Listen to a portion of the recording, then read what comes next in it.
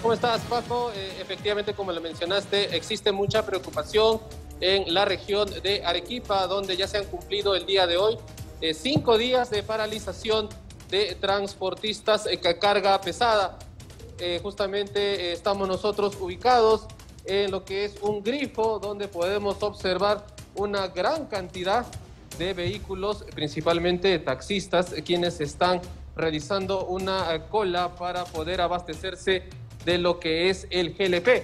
Este combustible ya está escaseando en algunos grifos y ellos están preocupados de que si es que en los próximos días eh, no se soluciona este tema rápidamente, podrían verse afectados económicamente.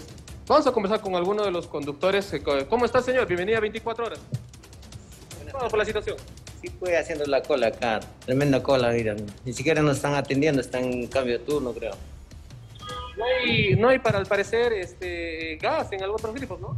Sí, no hay, pues está. En otros sitios también está, pero han subido su precio. Ahorita están subiendo el precio, ya lo han modificado ya los, Bien, muchísimas gracias. Eh, es la preocupación de los taxistas, eh, de los conductores que están llegando justamente a este grifo en el cercado de Arequipa para poder abastecerse eh, del combustible. Eh, hay que mencionar también que el día de hoy ha llegado eh, dos ministros, hablamos del ministro de Energía y Minas y el ministro de Agricultura, para instalar una mesa de diálogo y poder encontrar una solución a esta paralización que ya lleva, como hemos mencionado, cinco días en la ciudad de Arequipa. Paco.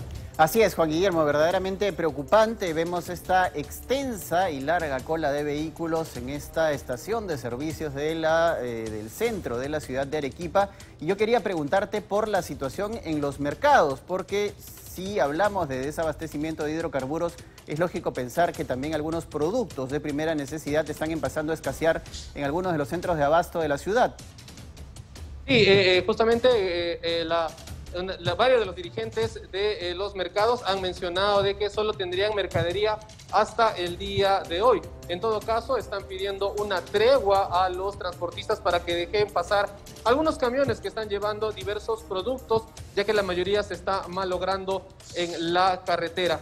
Eh, esperamos que hoy, en estos mismos instantes, están estos dos ministros instalados en el gobierno regional, pueda llegarse a un buen término y ponerle fin a esta paralización que ya ha comenzado a, perjudicar en todo caso a la población de Arequipa. Ahora, Juan Guillermo, es importante ser cautos con la reunión que puedan tener los ministros de Energía y Minas y, Agricultura con los representantes del gremio de transportistas, toda vez que ayer el ministro eh, Aníbal Torres, el presidente del Consejo de Ministros, anunció que se había llegado a un acuerdo con los gremios de transportistas, sin embargo, esto fue desmentido por al menos dos gremios el día de ayer, así que mucha cautela, mucho ojo, mucha cabeza fría sobre los acuerdos que se puedan alcanzar en esta reunión en la ciudad de Arequipa. Finalmente son las bases de todo el país, de este gremio de transportistas, los que tendrán que determinar si se han llegado o no acuerdos con el Ejecutivo. ¿Se tiene estimada más o menos la hora a la que podría terminar esta reunión? No sé a qué hora es que ha iniciado esta reunión en el gobierno regional, Juan Guillermo.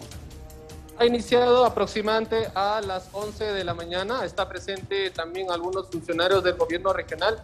Se nos ha mencionado de que terminada esta reunión, los ministros van a dirigirse al kilómetro 48 de la Panamericana Sur, donde están la mayoría de los eh, camioneros instalados con sus vehículos impidiendo lo que es el pase principalmente a vehículos de carga pesada. Solo están dejando algunas camionetas, ambulancias y autos para que puedan seguir con su rumbo. Sin embargo, esto podría cambiar en las próximas horas. No sabemos lo que pueda suceder y en todo caso esperamos que también se lleve, si no una tregua para que pueda ponerse eh, un alivio a todos los taxistas, amigos transportistas y principalmente a las amas de casa que acuden a los mercados de nuestra ciudad.